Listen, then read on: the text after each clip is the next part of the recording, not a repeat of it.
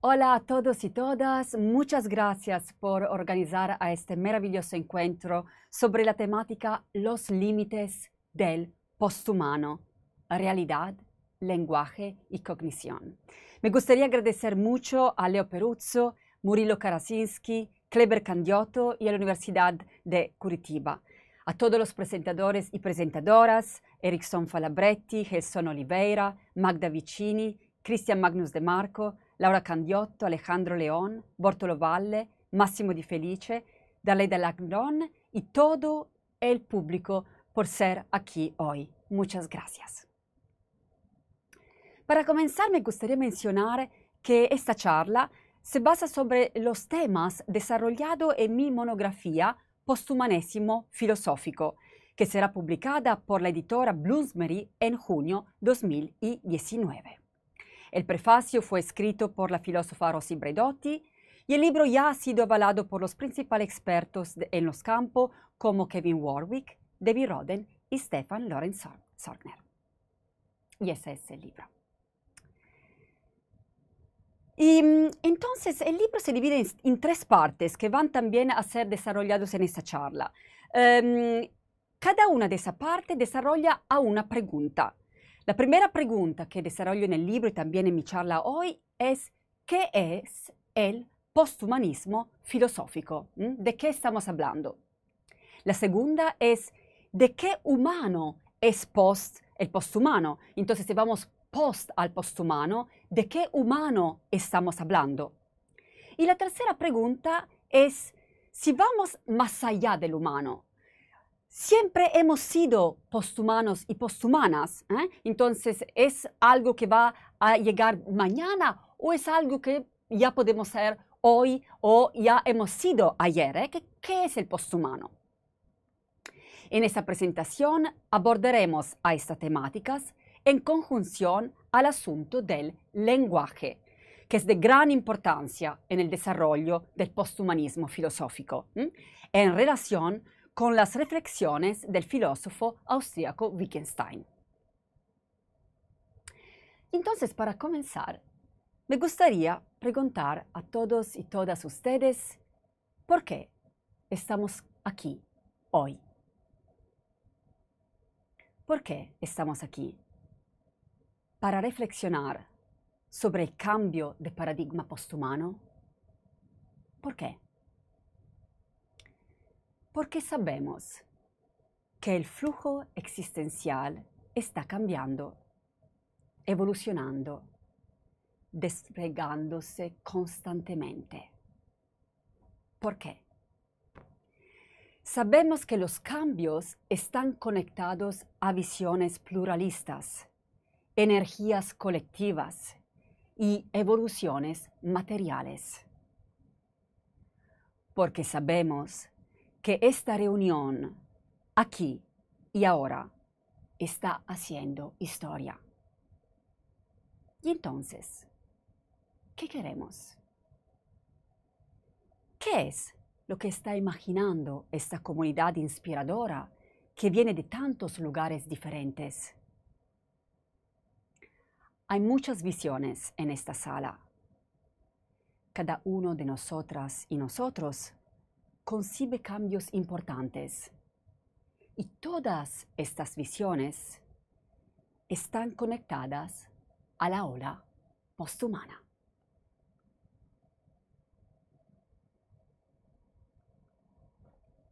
Como filósofa, adopto el cambio de paradigma posthumano en el marco del posthumanismo filosófico. Pero claramente el posthumanismo filosófico es parte de un movimiento que está haciendo historia ahora. Y en este movimiento hay muchas diferentes corrientes. Por ejemplo, hay el transhumanismo, también como demócratas, libertarios. Hemos ya hablado de estas temáticas en nuestro primer encuentro el año pasado. Hay antihumanismo, metahumanismo, hay nuevo materialismo y hay ontología orientada al objeto. Entonces hay muchas diferentes corrientes que van en la ola posthumana, pero no ahora, nosotros ahora vamos a, eh, vamos a hablar específicamente del posthumanismo filosófico, porque también el posthumanismo, hay el posthumanismo crítico, hay el posthumanismo cultural eh, y hay el posthumanismo filosófico. en esta charla vamos a focalizar sobre ese. Entonces, ¿qué es el posthumanismo filosófico? El posthumanismo filosófico es una filosofía de la mediación que descarga cualquier dualismo de confrontación, así como cualquier legado jerárquico. Es por eso que puede ser abordado como un post-humanismo, como un post-antropocentrismo y como un post-dualismo. Entonces, entre tres formas de ver al posthumanismo posthumanismo, postantropocentrismo y postdualismo.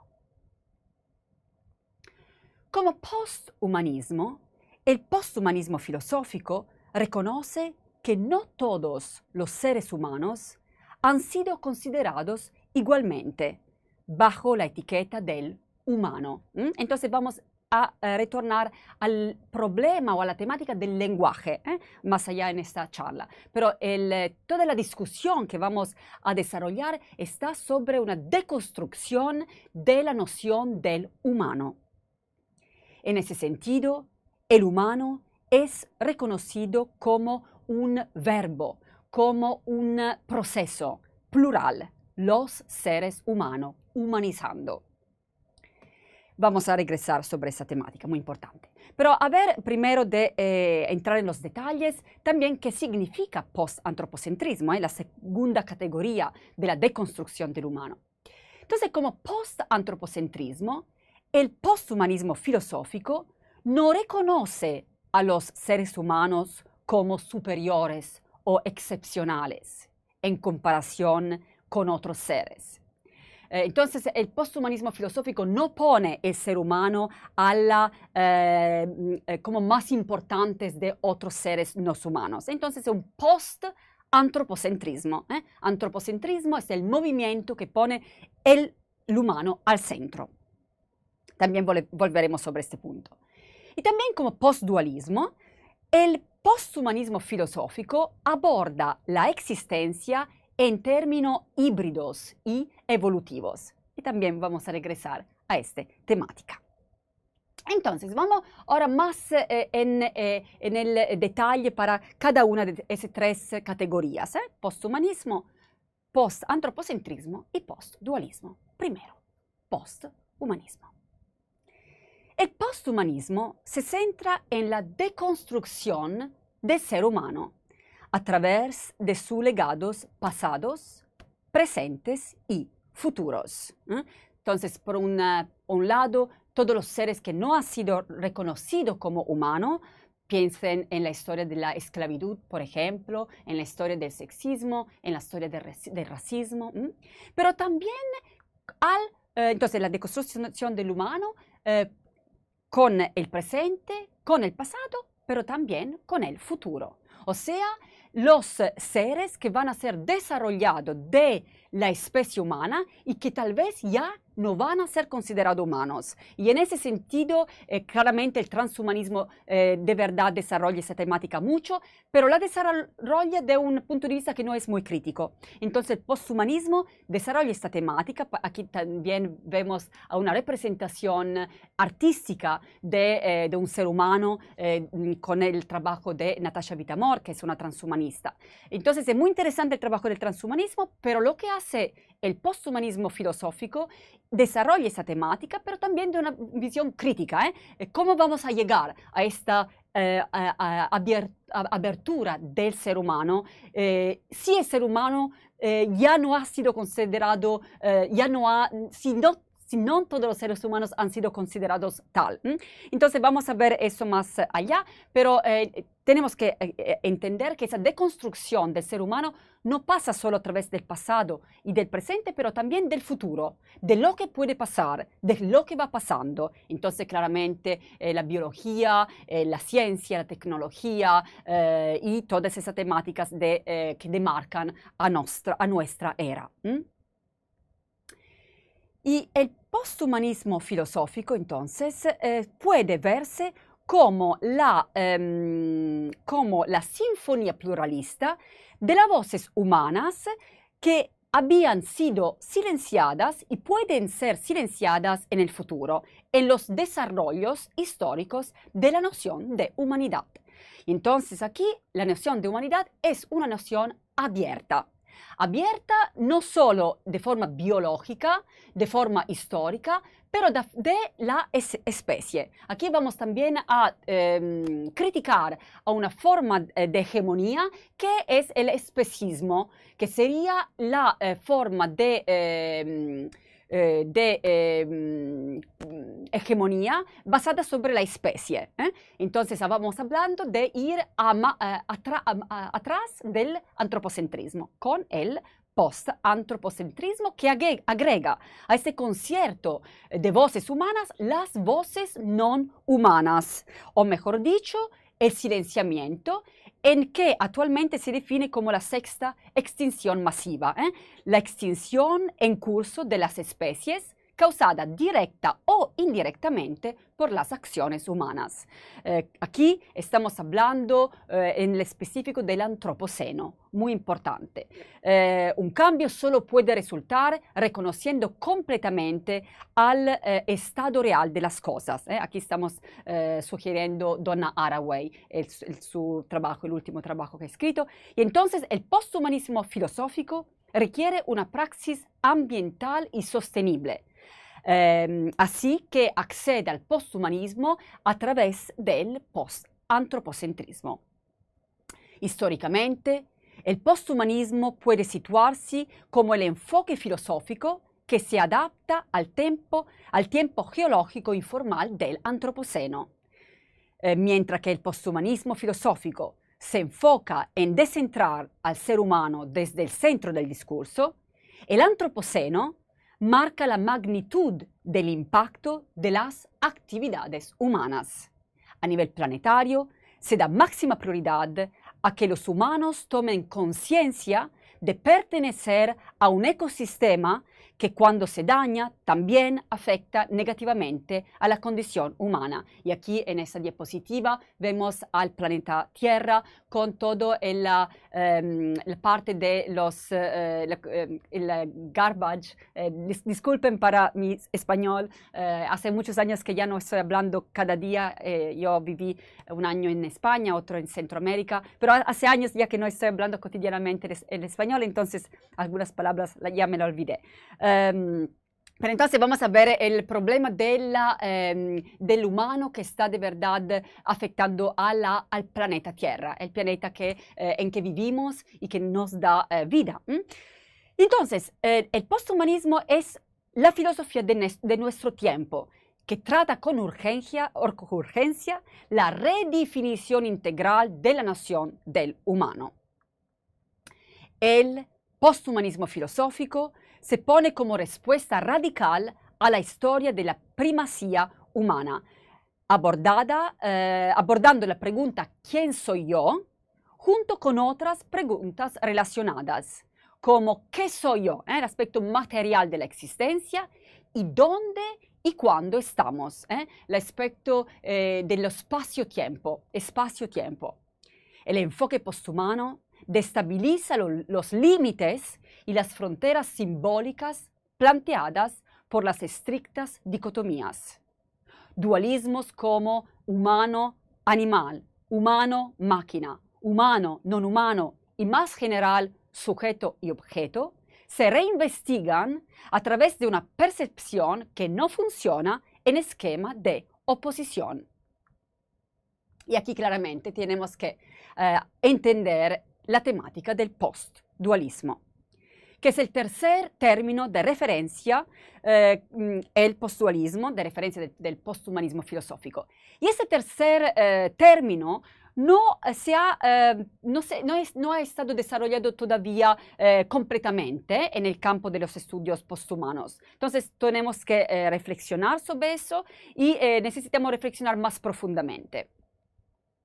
El postdualismo encuentra paralelos reveladores en las antiguas tradiciones asiáticas, como el budismo, el jainismo, la filosofía de yoga de Advaita Vedanta, eh, pero con algunas diferencias importantes. ¿eh?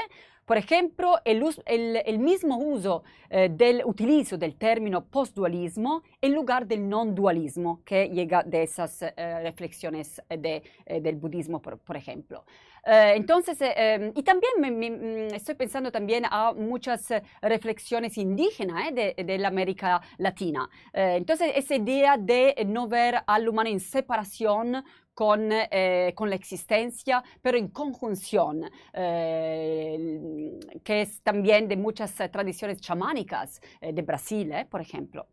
Entonces, el postdualismo es un paso necesario en la deconstrucción final de lo humano.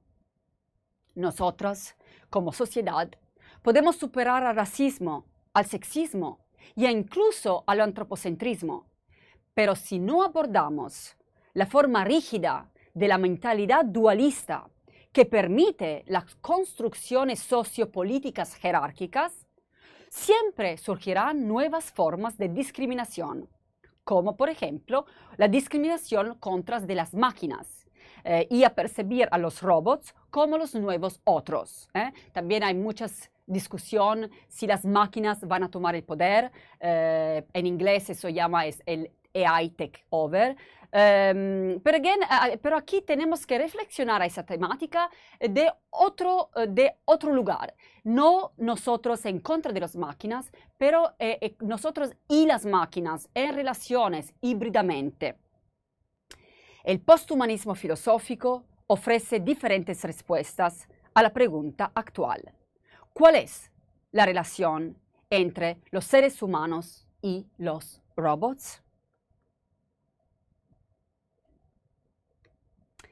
La relación entre seres humanos y robots ha traído mucha atención. Aquí también vemos a Sofía, el primer robot que ha sido reco reconocido la ciudadanía en eh, Saudi Arabia, en Arabia Saudita, en 2017. Con respecto a los humanos, los robots son al mismo tiempo el otro, el mismo y la quimera. Um, claramente cuando pensamos a los robots tenemos que pasar a través de la temática de los cyborg. Aquí tenemos un pacemaker en la imagen. Eh, la idea que eh, como human humanos ya somos, en, eh, ya somos máquinas, eh, ya hemos incorporado la máquina en nuestra eh, visión de la existencia hasta en nuestro cuerpo. Hay gente que sin un pacemaker no puede vivir. Eh, el cuerpo necesita, el corazón de ese cuerpo necesita esta máquina. piensen a la importancia de, la, de los medios, de, de los social media, eh, de, las, de las computadoras, del, de los teléfonos, como ya nuestra vida está eh, pasando por la mediación de la tecnología. Entonces ya no hay las máquinas y los humanos, los seres humanos ya son maquínicos porque ya hemos eh, embrazado a esa identidad eh, maquínica en nuestro mismo eh, cuerpo y en nuestra misma idea eh, de, que, de quién somos, eh, quién somos, voy en Google y pregunto, eh, la, la, la, pongo la pregunta y ya me da respuesta. Esta idea de la eh, recerca existencial ya no es solo humana, es una eh, recerca híbrida que ya estamos tomando con las máquinas. ¿eh? Entonces, primero de hablar de los robots, tenemos que pensar ya dónde estamos como especie. Entonces, eh, los robots son muy interesantes porque eh, los robots, again, eh, otra vez están, eh, son al mismo tiempo el otro, el mismo y la quimera. Eh, voy a explicar eso. O, por un lado, eh, los robots pueden comunicarse en un código humano, entonces ya podemos comunicar con los robots, pero sin ser humanos. No son humanos, pero pueden comunicarse con los seres humanos. Pueden tener un cuerpo mecánico y un cerebro biológico. Piensen, por, eh, por ejemplo, en la instancia de la, de la inteligencia, inteligencia, artificial biológica. ¿eh? Aquí es una, un ejemplo muy interesante de un hibridismo de robots que tienen a neurones biológicos. También se han generado a partir de conocimiento y de las categorías humanas, porque ha sido generado de seres humanos, y aún así los trascenden a ambos. ¿eh? Aunque un robot esté eh, creado por humanos eh, y por conciencia humana, ya va a trascender esta conciencia, esta, eh, este, este origen. Ya no hay un origen, ya no hay una origen humana.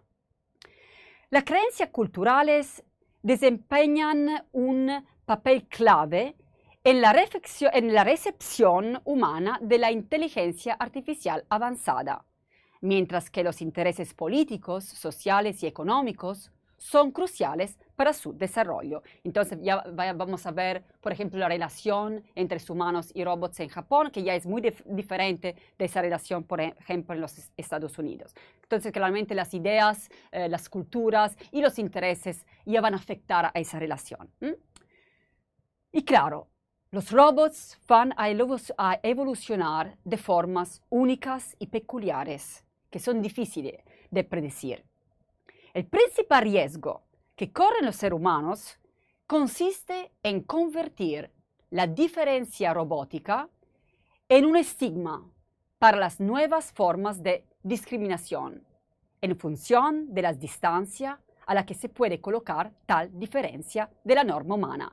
Entonces, esa idea que eh, ya podemos tener esclavos automáticos. Yo estoy muy contraria a esa idea de ver a los robots como nuestro esclavo porque ya se pone en una, en una historia muy negativa del ser humano eh, que ya eh, tenemos que eh, deconstruir y mudar. Entonces, mm, para mí es muy importante no ver a los robots como nuestros eh, esclavos automáticos porque los esclavos, claro, siempre se van a rebelar, es su derecho rebelarse. Entonces, esa forma de dualismo es muy crítica, muy, eh, tiene eh, una historia espe específica que se va eh, re repitiendo. Entonces, mm, para mí es muy importante abrazar a la temática de las máquinas de otra historia, de la historia de la co convive convivencia, de la coexistencia, de la recerca eh, existencial eh, unida, juntos, eh, no en separación, eh, caminando juntos en este percorso, en este viaje existencial.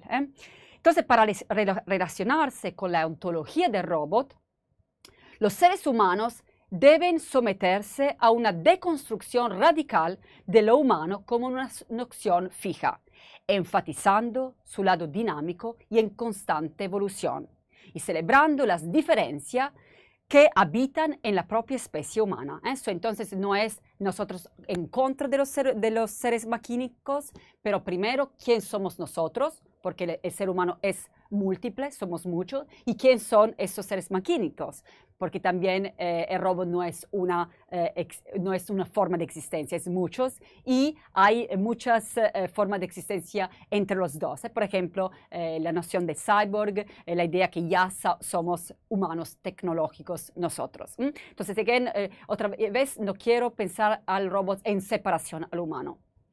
Por esa razón, emplear un marco crítico posthumanista es crucial para evitar que los humanos conviertan al robot en su nuevo otro simbólico y que caigan en el paradigma dualista que ha caracterizado históricamente los relatos hegemónicos occidentales, articulados en opuestos tales como masculino-femenino, blanco y negro, humano-máquina y eh, humano, animal humano, animal no, no, humano, y puedes, hay muchos, eh, natura y cultura, etcétera, etcétera. So, no, eh, para mí es muy importante salir de esta concepción dualista de la historia que eh, ya ha, eh, tiene frutos muy claros, eh, frutos que para mí no, no, te, no, tienen muy buen sabor. Quiero salir de esa historia y eh, conectar la visión del posthumano con otras historias que claro que existen, eh, convivencia medieval entre eh, diferentes religiones.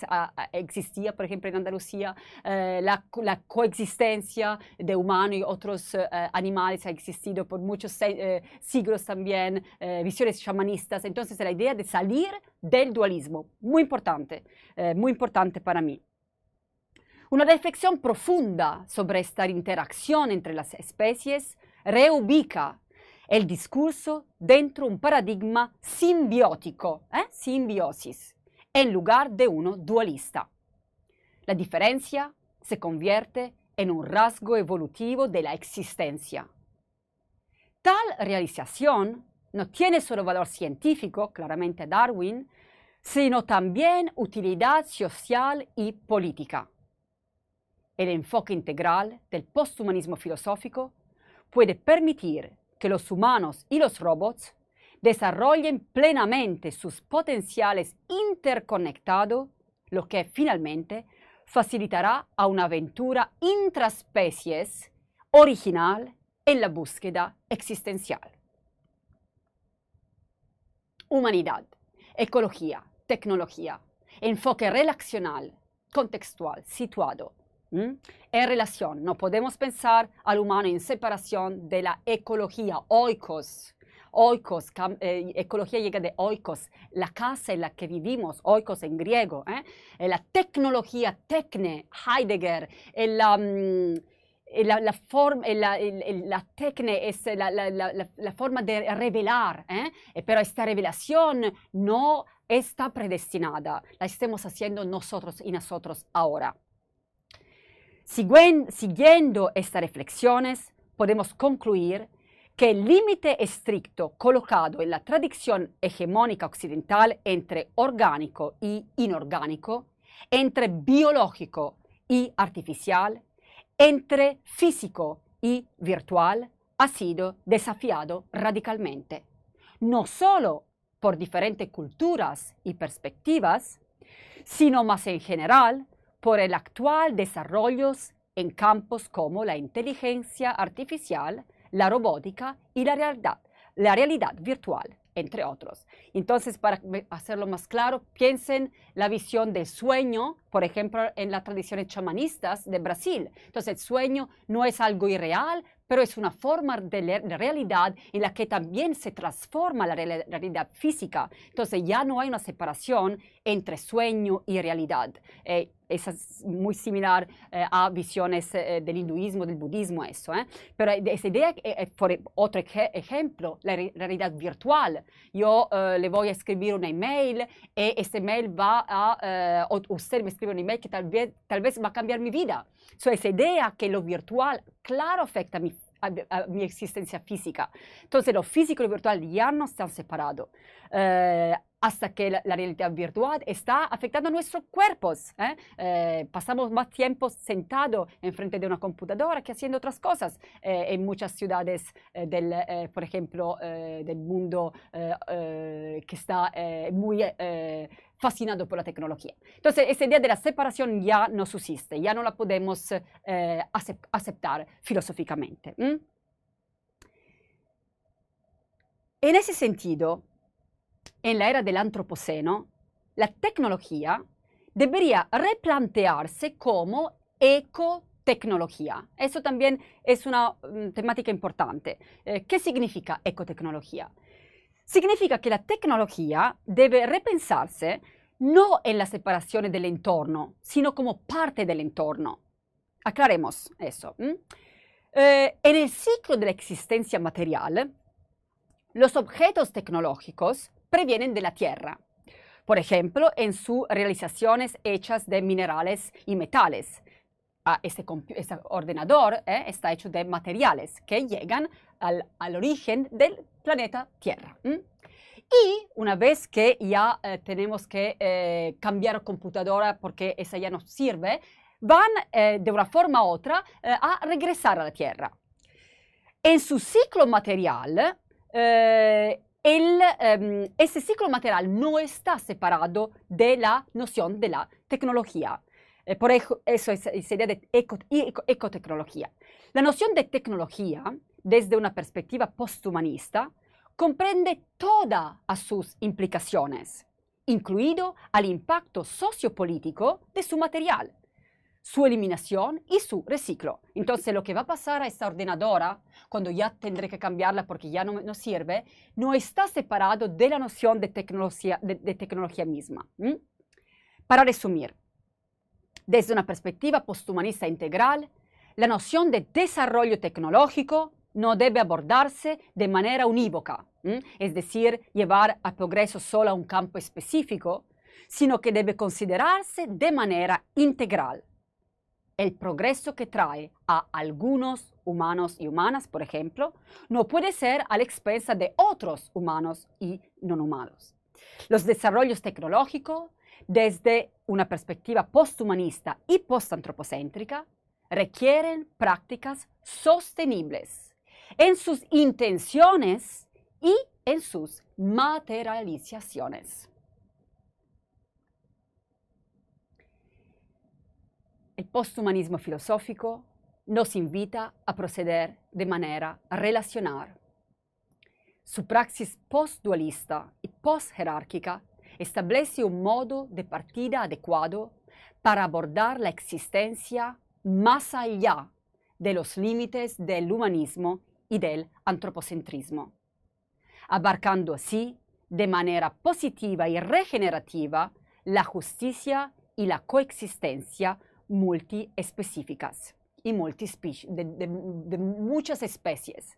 La noción de justicia no puede solo ser pensada por humanos. Claro, tenemos que, ser, eh, tenemos que eh, eh, incluir, pensar al concepto de justicia en relación a todos los seres humanos, pero también a todos los seres no humanos, no solo a los animales, pero también a los seres tecnológicos. ¿eh? Una visión muy ancha, muy eh, eh, eh, que, siempre está evolucionando de la justicia, no una forma cerrada de justicia, una forma uh, ancha, abierta, ehm, de continua, en continua progresión, ¿eh? en cambio, evolución. En ese sentido, estamos listos y lista para reflexionar sobre el tema del lenguaje. Entonces, mm, quería también eh, agradecer a los eh, organizadores de este encuentro eh, sobre la temática del lenguaje en relación a un grande filósofo como Wittgenstein. Entonces, el lenguaje está al comienzo de la reflexión posthumana. De hecho, es la deconstrucción misma del término humano de que nace el posthumanesimo. El humano aquí está percibido como un verbo más que como un nombre, humanizar, o sea, un proceso histórico en continua evolución y con sus límites. Para clar clarificar la importancia de la reflexión de Wittgenstein en este campo, tenemos que pensar a la sociedad contemporánea y a la prioridad de las imágenes. En esa sociedad necesitamos a una revisitación radical de nuestra percepción de lo existente, porque esta percepción no tiene solo un significado cognitivo y epistemológico, o sea, cómo es que llegamos al conocimiento, cómo es que, que, eh, llegamos a percibir, a conocer al flujo existencial. Pero si no, esta, esta percepción visual, esta construcción visual también que cada uno de nosotros y nosotras tiene, ha consecuencias éticas y existenciales. Estas eh, percepciones están afectando al eh, flujo existencial porque nosotros y nosotras no estamos separados de eso. Me dejen eh, concluir con una imagen. Imagina que un día te des cuenta que, de, que cada acción que has realizado, cada pensamiento que has tenido, cada sueño que has soñado, cada palabra que has hablado, ha estado afectando y efectuando la materialización de la existencia. ¿Por qué estamos aquí hoy? ¿Por qué estamos aquí hoy para reflexionar sobre el posthumano? ¿Por qué? Porque sabemos que el flujo existencial está cambiando, evolucionando, desplegándose constantemente. ¿Por qué? Sabemos que más que la existencia, no es un aglomerado de objetos fijos, más un océano de procesos que generan factos y perspectivas. Porque sabemos que somos nosotros y nosotras, aquí, ahora, que estamos haciendo historia, que somos existencia. Y la ola posthumana mueve a la sociedad humana hacia la siguiente fase de la relacionalidad, posthumanista, post-antropocéntrica, post-dualista. Nosotros, animales humanos y no humanos, robots y plantas, planeta Tierra, Marte y más allá nosotras, diferente y conectadas. Nosotras y nosotros, aquí, ahora, mirándonos unos a otros, imaginando el cambio de paradigma posthumano y sintiéndonos completamente iluminados. Y entonces yo le quería agradecer muchísimo por su estimada atención. Eh, tengan en cuenta que eh, los temas tratados en el libro eh, se pueden encontrar en eh, ese libro, el posthumanismo filosófico, que eh, ya van a, va a ser publicado con Bloomsbury. Y también, si quieren hablar y conectar, tengo un sitio que se llama www.theposthuman.org y me encantaría continuar el discurso. hay muchas cosas que están pasando, hay muchas conferencias, encuentros. Entonces, de verdad, esa es una ola y tenemos, necesitamos sus visiones, a sus palabras, a sus eh, percepciones y a sus experiencias. Entonces yo le agradezco muchísimo, eh, estoy muy contenta de ese encuentro y mm, atendo con, eh, con felicidad al momento de las preguntas y de las respuestas con ustedes. Muchas gracias.